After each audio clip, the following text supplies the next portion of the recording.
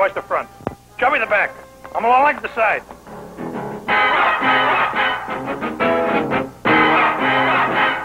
Okay, there's a stick-up. What funny-looking pantyhose. At Winkels. World's best-fitting pantyhose. There's an ordinary pair that I use for cheaper stick-ups. One stretched, they stay stretched. But Winkels fight to stay tight. The secret is in the thread. Look at these microscopic pictures. The ordinary pantyhose thread just lays there. But the Winkels thread fights to stay tight on any shaped leg. See?